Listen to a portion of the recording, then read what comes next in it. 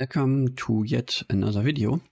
Today is going to be a little bit of a celebration because I recently passed my KNIME trainer assessment. So I'm now a KNIME certified trainer. And in order to achieve that, I had to teach a course on a certain topic.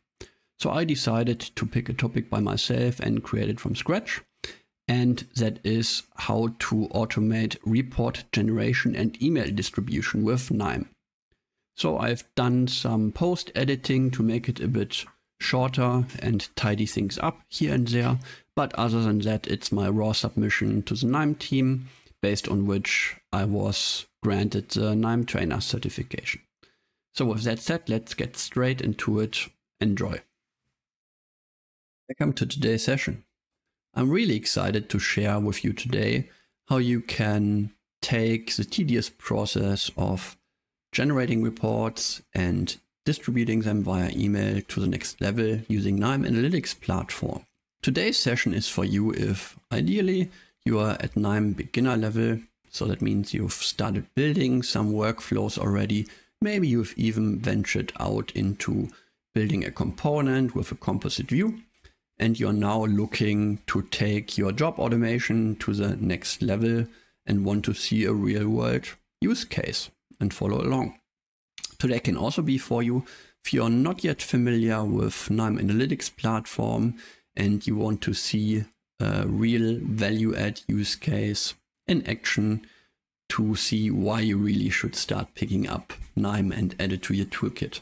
My name is Martin Dieste and I'm a KNIME enthusiast and also a KNIME certified data analyst and data scientist with a specialization in natural language processing. I'm also aspiring to become a KNIME certified trainer. That said, let's look into today's learning objectives. So at the end of this session, you will know how you can turn your existing data apps that have composite views into static reporting pages. And once you've done that, you will know how you can combine them into one report that can be saved as a PDF or HTML or image. And once you've done that, you will learn how to use the email processing extension, the email connector node to connect, establish a connection to your own email address. And using that email connection and the report, you will be able to generate an email with either the report attached as an image or as a PDF and to send it to a group of stakeholders. And all of that automatically with the click of a button. In order to follow along, there are two extensions that are required, the powerful KNIME reporting extension and the KNIME email processing extension. So if you don't have them installed yet, um, I suggest that you either go to the KNIME hub and find them and then drag and drop them into your KNIME Analytics platform, or you search for them using the install extensions menu in your KNIME Analytics platform. I've prepared for you today a very practical use case, so part of the workflow we will build and modify uh, live in the session. Other parts, for brevity, I've pre-prepared and I will walk you through the important nodes and their configurations. The example is about turning the composite views of three data apps from freely available workflows on the KNIME Hub, one for employee turnover, one for customer churn, and one for revenue growth, into individual reporting pages to start with. And after that, finding a way to merge them into one report that is then attached to um, an email and sent to a group of stakeholders. So that said, let's get straight into KNIME and let's first have a bit of a look at the workflow. So there's some data pre-processing happening. I've moved all the pre-processing from each of the three example workflows in here just to keep the view a little bit clean. Doesn't really matter for this course what's going on there. What matters are these three data apps, one for revenue growth, one for employee turnover, and one for customer churn that come out at the end. And these are the views that we want to turn into one report. So let's have a look at the revenue growth one as an example. So we have two bar charts at the bottom in the composite view. And at the top, we have a widget that allows for some interactivity. So whenever we change the radio button to a different year, our view at the bottom is refreshing. And the other two data apps look similar and both of them share this radio button with the three years 2021 to 2023. So first step that we need to do in order to turn them into individual reports is to initiate a reporting template. So in my node repository on the left hand side, you can already see I've filtered for the reporting extension and somewhere in the middle is the report template creator node. So this node has a blue square output port, which is labeled empty reporting template, which we can initialize with this node. Let's have a look at the configuration. The configuration menu allows us to select the page size from a drop-down menu and then to decide whether we want our report in portrait orientation or in landscape orientation. For now, we'll just leave it all at the defaults. You will notice that none of our data apps for now have a blue square input port for reporting template, and that's what we are going to change next. For that, let's navigate inside the component. So right click onto the component, select component, and then open component. For now, we don't have to change anything on the workflow logic and we can go straight to the open layout editor button in the top left. And in the bottom left corner, we see a checkbox to enable reporting. And that's what we're going to do. If we now navigate back out of this component, we can see that we have a blue input port and an output port as well. So let's connect it. When we now execute the node, we get a preview of the output port and we can also open that in a new window. And as you can see, you see the gray outline of the page with our visuals on it and the KNIME logo and some white space at the bottom. But there's also this warning that there's a view inside the component that is not supported. If we go back to the composite view, we can clearly see it's related to the widget where we select. And it somewhat makes sense. If we turn something dynamic like a composite view into something static, like a static report, then the interactivity gets lost. So it makes sense that the widgets are not supported. That's also why we will have to do some modification to make the report look nice, because obviously we don't want this red warning on there. So let's go ahead and do that. Going back inside the component, and we can see this single selection widget, which generates a drop-down menu and passes the selected year variable to the row filter to filter the data. Let's copy this and let's move that outside of the component into our main workflow. What I want to do here is to pass in the selected year from the outside rather than having to select it in the composite view. So we connect the variable port and then we can go back inside the component and delete the single selection widget. However, if we now try to execute, we actually get an error. It can't find the selected year variable, and that is because flow variables, as you may know, have a local scope by default, which means anything, any flow variable created outside the component is not passed inside it unless we manually change it. So let's go to the input component input node and configure and we can see that the selected year variable is in here, but it's excluded. So let's include it. And now it executes nicely again. When we now re-execute and check out the preview, we can see that it's gone and it looks much nicer.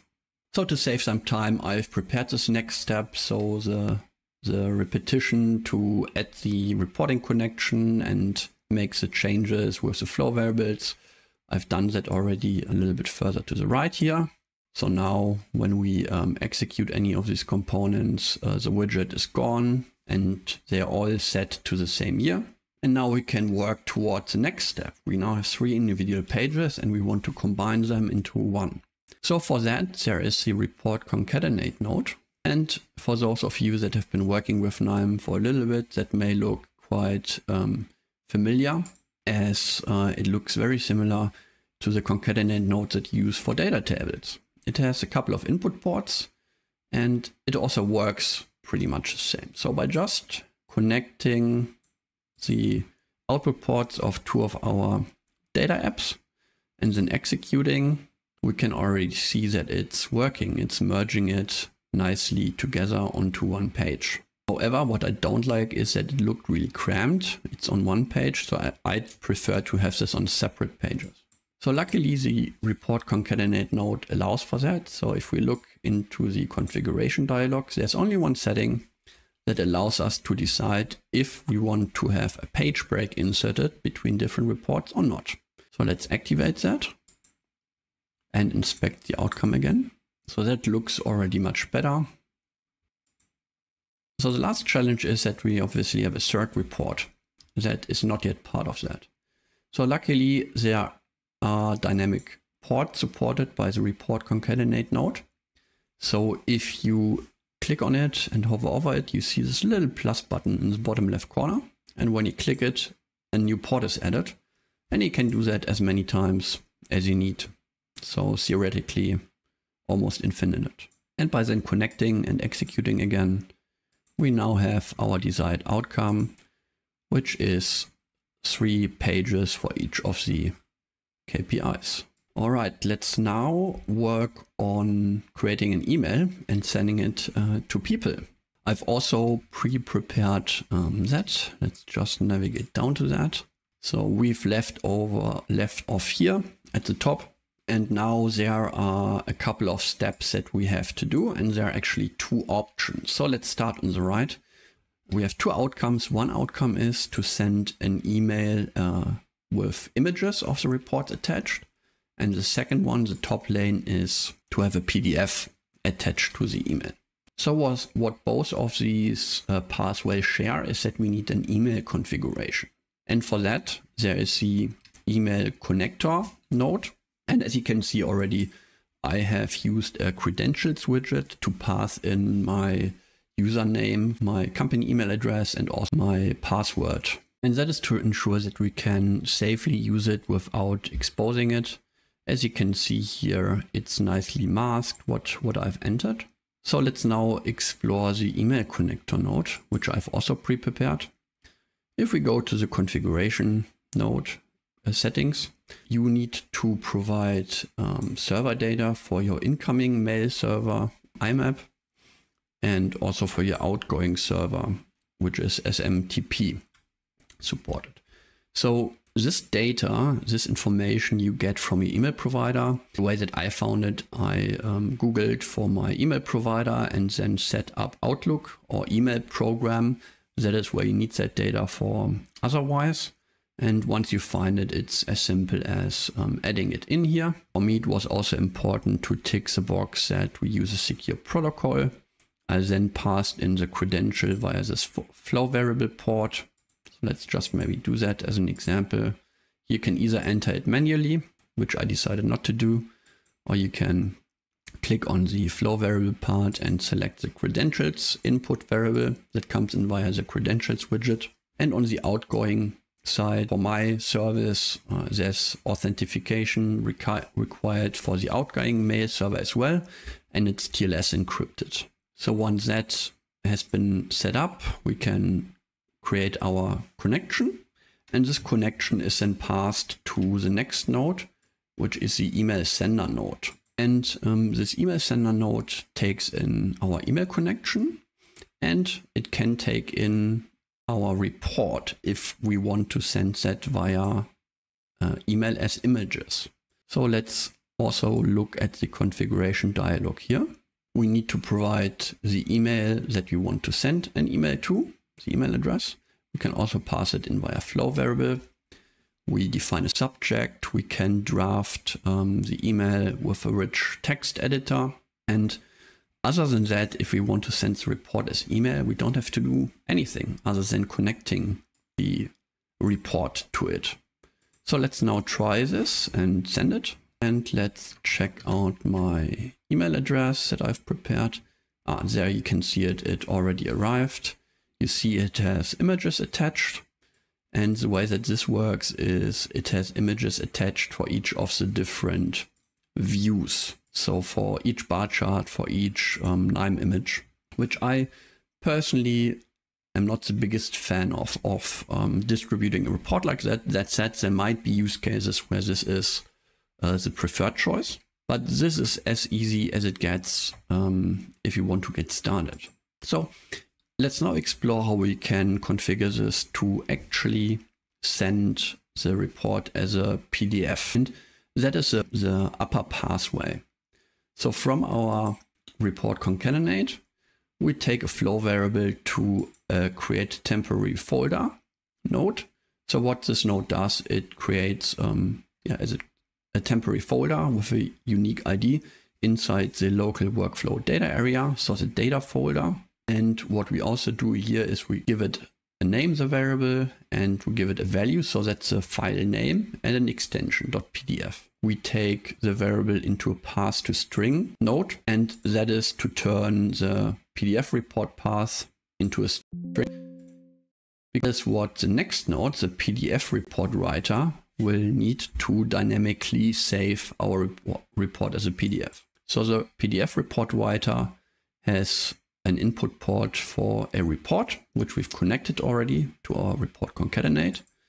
And in the configuration dialog, you can either put in a path or browse to path uh, on your local file system where you want to save that report, or as I've done it, you can pass in the path via a variable, which is our PDF report path location variable, which is a path as a string. We can then decide what we want to happen if the output file exists already. So we can either make the workflow fail or override it. So for now, I'll change this to override. So now, once I execute this, we get an error. We probably have to reset this. Yep, the temporary folder was not yet established. The reason for that is this, this node is actually quite useful because any folder that it creates gets cleaned up and gets deleted whenever we clean the workflow. So I did not have this uh, reset before I started, so um, the path didn't exist yet. Now we've changed that.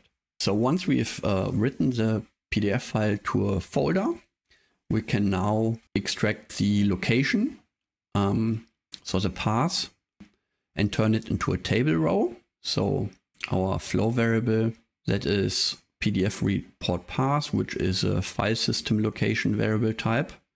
We turn that into a table row. And then we can connect this table row to our email sender node.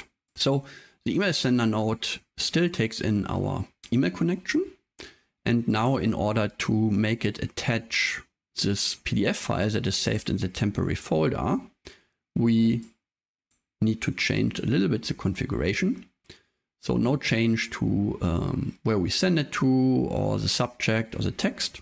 But at the bottom under attachments in brackets input column, we now can select the PDF report path input column as a reminder that comes from this node and that points the email sender node to the report location.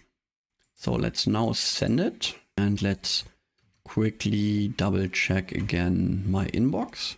And as you can see, we've received it already. Monthly report as a PDF. Please find attached the monthly report. And if we open this, we have a nicer view that maintains, let's say, the structure that we've set up in our composite views. Awesome. So that was the use case that I've prepared for today. Let's briefly jump back into the PowerPoint and let's recap. So today you have um, understood how this workflow works, which turns the composite views of your different data apps into one report and sends it two different ways via email to stakeholders. Specifically, you've learned how to turn the data apps into a static report, to merge them together into one report, and then to configure your own email address so that you are then enabled to send the report as a PDF or as individual images. That said, I thank you very much for your attention. Should you have any questions after the session, feel free to reach out to me um, at martin at finnovationflows.com. That's my email address. Or you can post your questions in the KNIME forum. Thanks so much, and I see you next time.